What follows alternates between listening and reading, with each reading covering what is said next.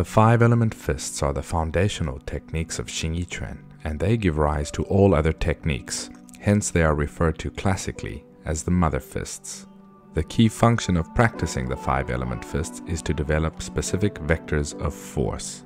Each individual element focuses on specific vectors of force which are manifested through body mechanics. It is these vectors of force which are applied to and give rise to all other techniques, literally the elements included in all actions. Heng Quan, or crosscut fist, is the fifth of the five elements. The classics state the element that crosscut relates to is earth. Its form is like a pellet shot, and it is elastic, and the internal organ that it relates to is the spleen. The reference to the pellet shot refers to its vector of force, which has a round characteristic hidden within, and it also features the properties of elasticity, making it flowing and full, with balanced inherent stored power. The outer structure and the intrinsic force of Heng Quan is full and balanced. The upper body and the lower body are full, without disconnection and without gaps in power, and this is what is meant by being round.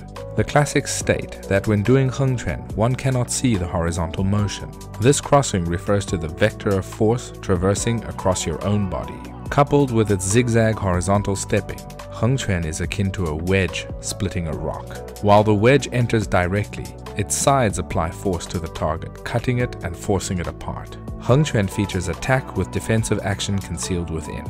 It features a twisting roll of the forearm as it strikes out, coupled with oblique footwork. It is subtle and profound. While there are numerous variations of Heng Quan, in this primer video I shall cover the fundamental details and standard execution within my Hebei line of Xingyi Quan. In general, all methods and variations of Heng Quan adhere to and implement the principles that I shall present here.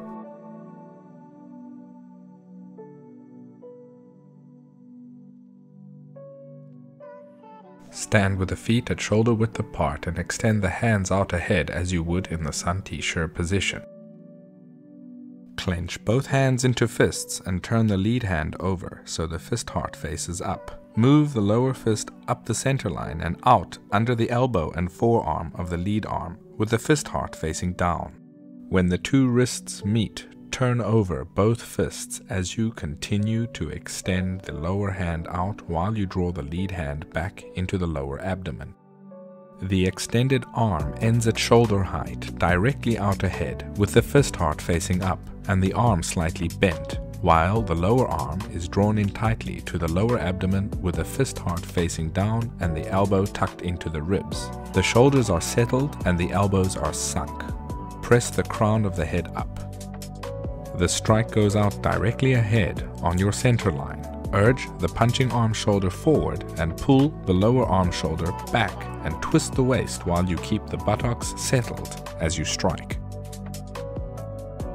Ensure that the two arms have a twisting, rolling, and drilling power, which is integrated evenly without any slackness or gaps. This manifests in both arms at the same time.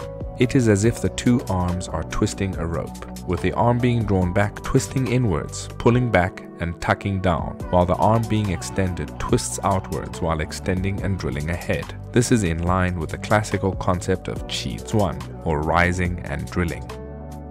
When the two wrists meet, you should have the intent that your fists are gripping thick cotton wool and that you are tearing it apart as your one hand extends out while you draw the other one in, with both twisting and coiling in opposite directions throughout this action. This mental intent will help you to generate the correct integrated force and mechanics with both arms working together as you practice. Once again, this is what is meant by Heng Quan being round and full. Practice this slowly at first to ensure that you conform to the requirements. Once you have some proficiency with the movement, you may add speed and power and continue to practice on the spot. Ensure that the fist extends out on your body's center line, which is achieved by twisting the waist and extending and withdrawing the shoulders. Pay careful attention to the path the elbows travel on as well, both when extending and when withdrawing. The lead shoulder should draw the elbow back, which tracks on the center line and protects the heart, which is then drawn in to protect the ribs and the flank. When the arm is being extended, the elbow should tuck in and protect the solar plexus. Throughout the entire motion and strike, maintain a concave chest, classically known as Han Xiong, as well as settled shoulders and sunk elbows, which are classically known as Song Jian As Heng Quan features footwork that has not been covered previously, once you are proficient in the upper body actions, you should then practice Heng Quan's footwork independently before combining the upper and lower body actions.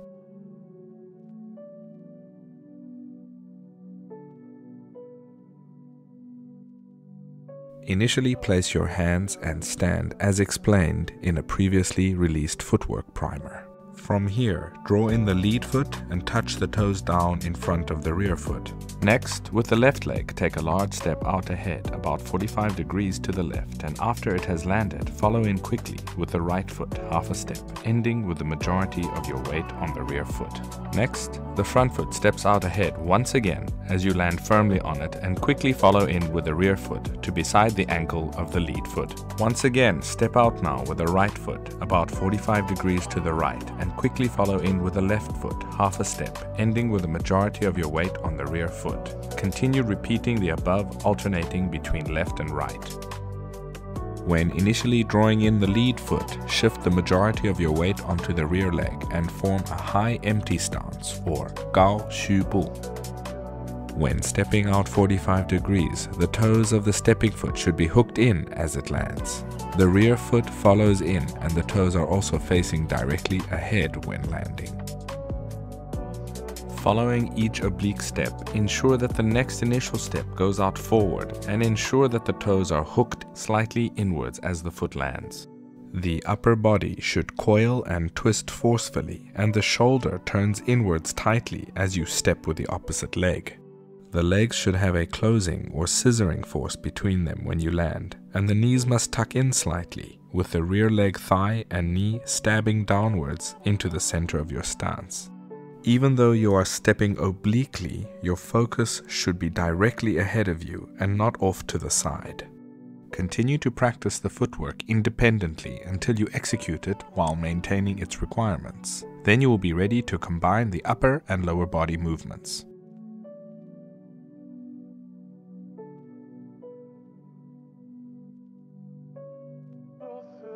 The standard method of executing Quan features the issuing of force timed with the front foot in an Ao Bu or opposite step, which has the opposite hand and foot forward. The handwork and zigzag stepping details already explained in this primer video are to be combined.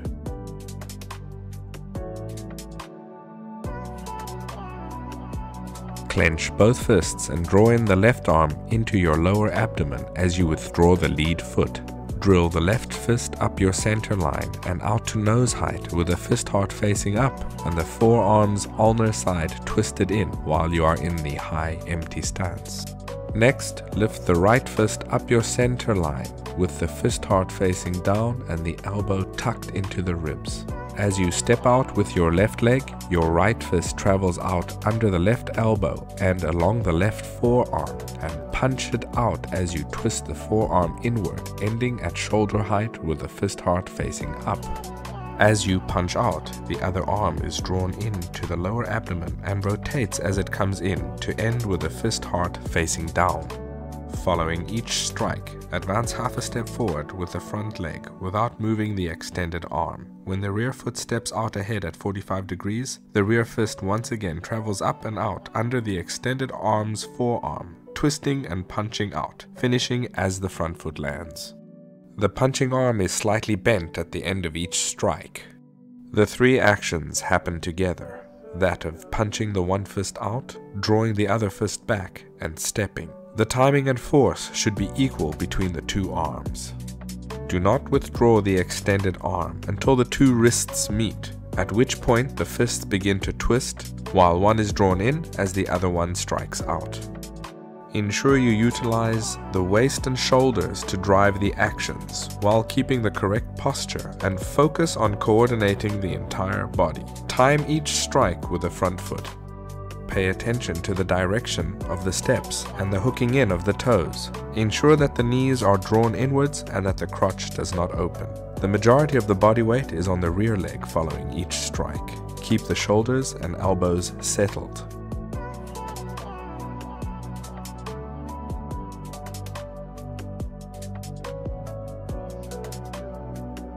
As with each of the five element fists, Heng Quan requires daily repetition and long term focused practice in order for the correct body mechanics, actions, and force vector to manifest. Heng Quan contains implied attack and defensive aspects which manifest in the actions of both arms and the body. For example, the withdrawing arm can divert an opponent's attack off the center line while the extending arm attacks at the same time. However, the extending arm can also be utilized for defensive purposes as it diverts an attack with the sides of the forearm while simultaneously attacking. This makes Heng Quan multifaceted with numerous aspects of attack and defense combined together. The hands work together along with the footwork which adds an oblique forward charging power. It is imperative to utilize the entire body to generate force, correctly employing the waist and shoulders, allowing you to attack the opponent as soon as you are in contact with him with a unified whole body force. Heng Quan uses an oblique angle to break a direct attack, using attack to defend and defense to attack. It moves at an angle to attack directly, using a circle to create a straight line. While deeper details regarding Heng Quan's practice, its variations and applications should be attained through direct transmission by learning from an authentic teacher, I have presented here the fundamental version of Heng Quan, most prominent in Hebei lines of Xingyi Quan. The details covered in this primer video will enable you to begin or correct your practice.